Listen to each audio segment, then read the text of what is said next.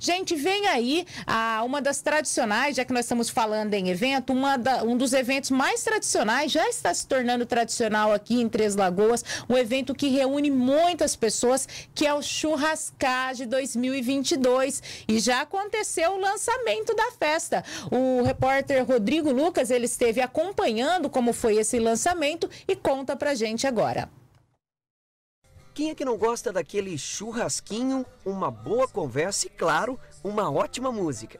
Foi assim o lançamento deste ano da Churrascagem, que aconteceu no último sábado na Sociedade Rural de Três Lagoas. Um evento que já se tornou tradicional, este ano lançando a sua terceira edição, reunindo diversos profissionais do ramo em uma festa para lá de suculenta e saborosa.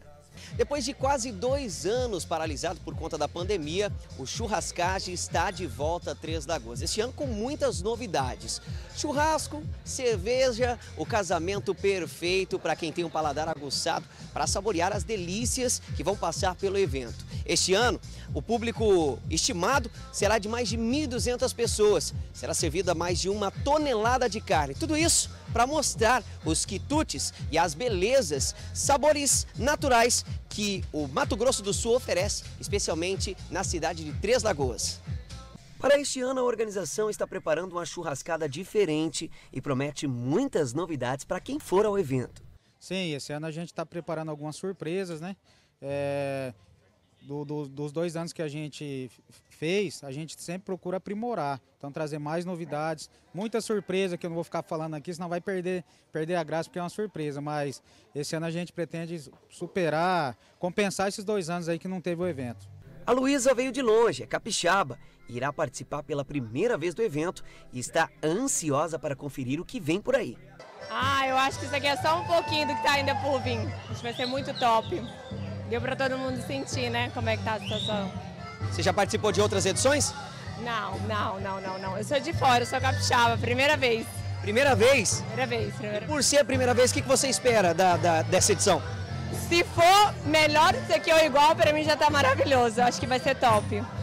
Segundo os organizadores, um dos objetivos do evento é se consolidar como um dos maiores eventos de churrasco do Mato Grosso do Sul e transformar a cidade de Três Lagoas como a capital do churrasco no estado. E para isso, as parcerias para a realização do evento são fundamentais. Sem sombra de dúvida, a gente quer ser a capital do churrasco do Mato Grosso do Sul. Né? Nós estamos indo para a terceira edição do Churrascagem.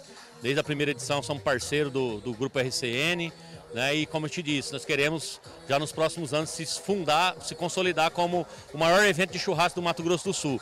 Nesse sentido, a grande importância das parcerias, né? Então a gente tem hoje é, a maior parceria de uma festa é, entre as lagoas, né? uma quantidade muito grande de parceiros, né? Não só de patrocinadores, mas de empresas que estão ligadas ao segmento de churrasco, que são apoiadores do nosso evento também, né? E, e a gente quer avançar junto com esses parceiros no sentido de, primeiro, dar retorno para eles com a nossa festa e para que a gente possa estar com eles no, nos próximos anos e ter esses parceiros junto com nós para a gente concluir esse que é o sonho, que é o objetivo do churrascagem, que é o objetivo da AGE, né? Que é, a partir de uma festa, promover empreendedorismo e transformar Três Lagoas na capital do churrasco do MS.